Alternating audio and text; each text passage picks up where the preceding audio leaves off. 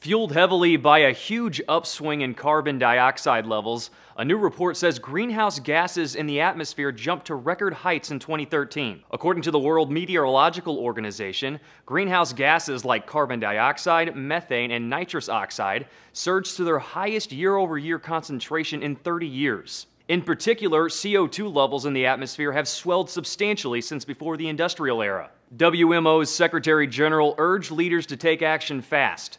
We know without any doubt that our climate is changing and our weather is becoming more extreme due to human activities.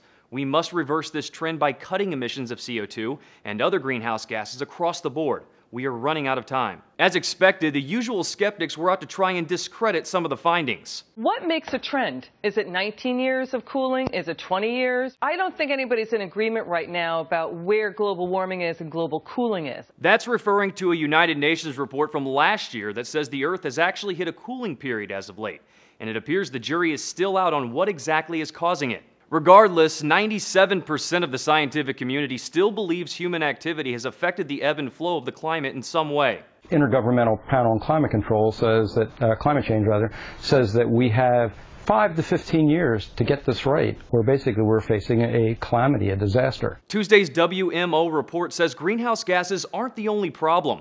It also warns against a thing called ocean acidification basically those emissions that find their way into ocean waters. It says a portion of carbon dioxide emissions end up essentially as ocean pollutants, which can have a number of negative effects on aquatic wildlife. President Obama and other world leaders are expected to negotiate a new climate initiative to replace the Kyoto Protocol at a summit in Paris next year. For Newsy, I'm Jay Strubberg.